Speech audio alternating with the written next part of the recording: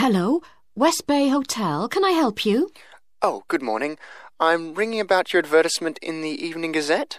Is that the one for temporary staff? That's right. Yes.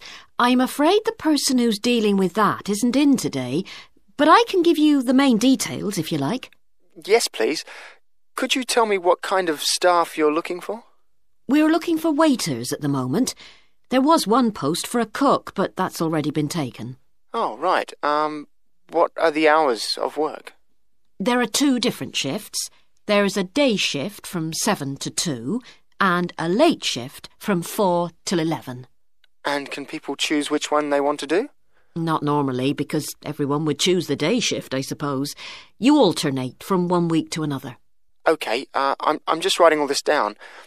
What about time off? You get one day off, and I think you can negotiate which one you want. It's more or less up to you, but it has to be the same one every week. Do you know what the rates of pay are? Yes, I've got them here. Uh, you get £5.50 an hour, and that includes a break. Do I have to go home to eat, or...? You don't have to. You can get a meal in the hotel if you want to, and there's no charge for it, so you might as well. Oh, good. Yes, so let's see. I get uh, 221, no, no, 231 pounds a week. You'd also get tips. Our guests tend to be quite generous. Um, is there a uniform? What about clothes? Yes, I forgot to mention that. You need to wear a white shirt, just a plain one, and dark trousers. You know, not green or anything like that. And we don't supply those. That's okay, I've got trousers. I just have to buy a couple of shirts. What about anything else? Do, do I need a waistcoat or anything? You have to wear a jacket, but the hotel lends you that. I see. Uh, one last thing. I don't know what the starting date is. Mm, just a minute. I think it's sometime around the end of June. Uh, yes, the 28th, in time for the summer. That's great. I'm available from the 10th. Oh, good. Well, if you can call again, you need to speak to the service manager. Her name's Jane Urwin. That's U R W I N. And she'll probably arrange to meet you. Okay. And when's the best time to ring? Could you call tomorrow? Um, she usually starts checking the rooms at midday, so before then if you can, so she'll have more time to chat. I'll just give you her number because she's got a direct line. Thanks. It's 832 009. 823 009. 832. Oh, okay. Uh, y- yes, I'll do that. And by the way, she will ask you for a reference, so you might like to be thinking about that. You know, just someone who knows you and can vouch for you. Yes, no problem. Well, thanks very much for your help. You're welcome. Bye. Bye.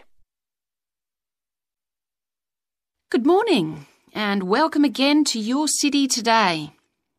With me today is Graham Campbell, a councillor from the City Council. He'll be telling us about the plan to improve the fast growing suburb of Red Hill. Good morning, Graham, and welcome to the show. Good morning, Carol. Now, Graham, I understand that there has been a lot of community consultation for the new plan. Yes, we've tried to address some of the concerns that local groups told us about. People we've heard from are mainly worried about traffic in the area, and in particular the increasing speed of cars near schools. They feel that it's only a matter of time before there's an accident as a lot of children walk to the school. So, we're trying to do something about that. Another area of concern is the overhead power lines. These are very old, and a lot of people we spoke to asked if something could be done about them. Well, I'm happy to report that the power company have agreed to move the power lines underground at a cost of $800,000.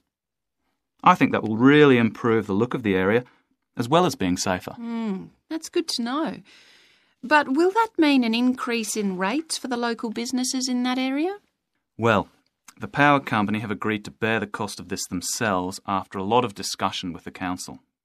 This is wonderful news, as the council now has some extra funds for us to put into other things like tree planting and artwork. Now, we've also put together a map which we sent out to all the residents in the area. And on the map, we've marked the proposed changes.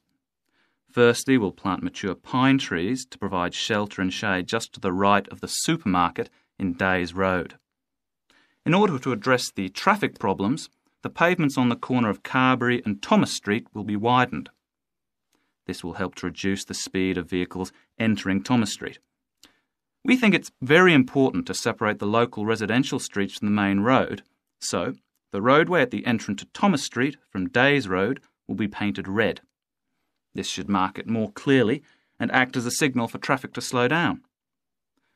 One way of making sure that the pedestrians are safe is to increase signage at the intersections. A Keep Clear sign will be erected at the junction of Evelyn Street and Hill Street to enable traffic to exit at all times. Something we're planning to do to help control the flow of traffic in the area is to install traffic lights halfway down Hill Street where it crosses Days Road. Now, we haven't only thought about the cars and traffic, of course, there's also something for the children. We're going to get school children in the area to research a local story, the life of a local sports hero, perhaps. And an artist will incorporate that story into paintings on the wall of a building on the other side of Hill Street from the supermarket. And finally, we've agreed to build a new children's playground, which will be at the other end of Hill Street, close to the intersection with Carberry Street. Wonderful. Now, what's the next stage? Well, the final plan. Hi, Jeannie. How's it going? Oh, hello, Dan. Pretty well, thanks. Have you managed to get the money for the course yet? Yes, that's all sorted out now, thanks. It took long enough, though. It was practically a year ago that I applied to my local council for a grant, and it took them six months to turn me down. That's really slow. And I thought I was eligible for government funding, but it seems I was mistaken. So then I asked the boss of the company I used to work for if they would sponsor me, and much to my surprise, he said they'd make a contribution. But what about college grants and scholarships? There must be some you could apply for. Yes, there are, but they're all so small that I decided to leave them until I was desperate. Uh huh. And in fact, I didn't need to apply. My parents had been saying that as I already had a job, I ought to support myself through college. But in the end, they took pity on me, so now I've just about got enough. That's good. So now I can put a bit of effort into meeting people. Haven't had time so far. Any suggestions? what about joining some college clubs? Oh, right. You joined several, didn't you? Yes, I'm in the drama club. It's our first performance next week, so we're rehearsing frantically, and I've got behind with my work. But it's worth it. I'm hoping to be in the spring production too. Hmm. I've never liked acting. Are you doing anything else? I enjoyed singing when I was at school, so I joined a group when I came to college. I don't think the conductor stretches us enough, though, so I'll give up after the next concert. And I also joined the debating society. It's fun, but with all the rehearsing I'm doing, something has to go, and I'm afraid that's the one. Do you do any sports? Yes, I'm in one of the hockey teams. I'm not very good, but I'd really miss it if I stopped. I decided to try tennis when I came to college, and I'm finding it pretty tough going. I'm simply not fit enough. Nor me. I think I'll give that a miss. I'm hoping it'll help me to build up my stamina, but it'll probably be a long haul. Good luck. Thanks. How are you finding the course? I wish we had more seminars. What? I'd have thought we had more than enough already.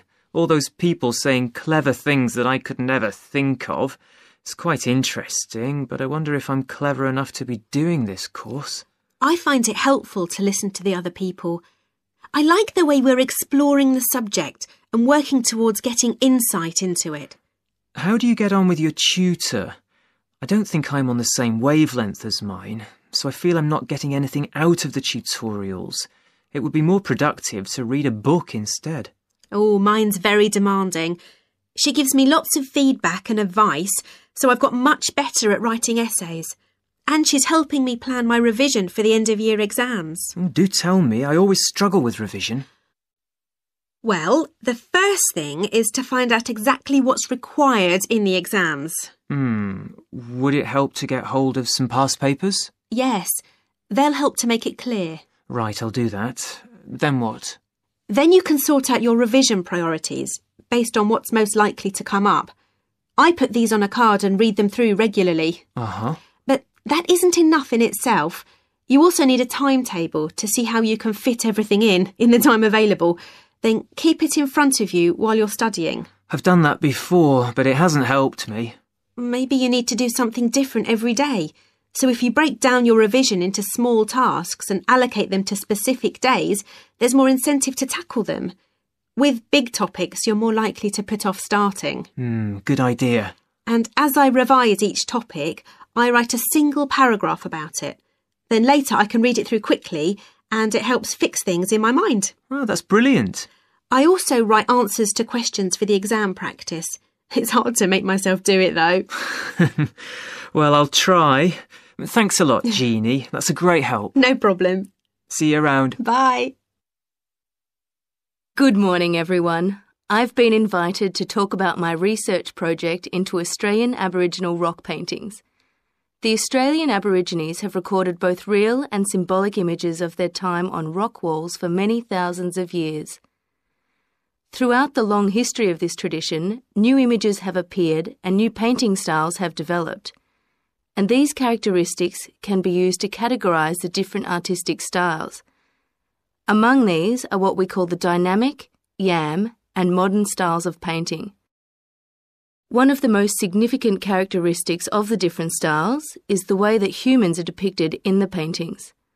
The more recent paintings show people in static poses, but the first human images to dominate rock art paintings over 8,000 years ago were full of movement. These paintings showed people hunting and cooking food, and so they were given the name dynamic to reflect this energy. It's quite amazing considering they were painted in such a simple stick-like form. In the Yam period, there was a movement away from stick figures to a more naturalistic shape. However, they didn't go as far as the modern style, which is known as X-ray because it actually makes a feature of the internal skeleton as well as the organs of animals and humans. The Yam style of painting got its name from the fact that it featured much curvier figures that actually resemble the vegetable called a yam, which is similar to a sweet potato. The modern paintings are interesting because they include paintings at the time of the first contact with European settlers. Aborigines managed to convey the idea of the settlers' clothing by simply painting the Europeans without any hands, indicating the habit of standing with their hands in their pockets. Size is another characteristic. The more recent images tend to be life size or even larger, but the dynamic figures are painted in miniature. Aboriginal rock art also records the environmental changes that occurred over thousands of years. For example, we know from the dynamic paintings that over 8,000 years ago, Aborigines would have rarely eaten fish and sea levels were much lower at this time. In fact, Fish didn't start to appear in paintings until the Yam period, along with shells and other marine images. The paintings of the Yam tradition also suggest that during this time, the Aborigines moved away from animals as their main food source and began including vegetables in their diet, as these feature prominently. Freshwater creatures didn't appear in the paintings until the modern period from 4,000 years ago.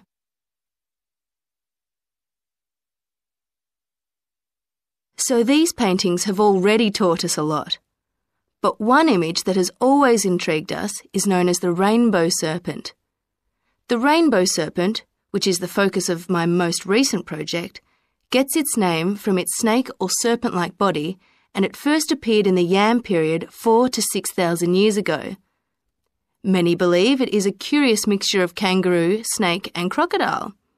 But we decided to study the rainbow serpent paintings to see if we could locate the animal that the very first painters based their image on. The Yam period coincided with the end of the last ice age. This brought about tremendous change in the environment, with the sea levels rising and creeping steadily inland. This flooded many familiar land features and also caused a great deal of disruption to traditional patterns of life, hunting in particular. New shores were formed and totally different creatures would have washed up onto the shores. We studied 107 paintings of the rainbow serpent and found that the one creature that matches it most closely was the ribboned pipefish, which is a type of seahorse. This sea creature, would have been a totally unfamiliar sight in the inland regions where the image is found, and it may have been the inspiration behind the early paintings. So, at the end of the Ice Age, there would have been enormous changes in animal and plant life. It's not surprising, then, that the Aborigines linked this abundance to the new creatures they witnessed. Even today, Aborigines see the rainbow serpent as a symbol of creation, which is understandable given the increase in vegetation and the new life forms that featured when the image first appeared.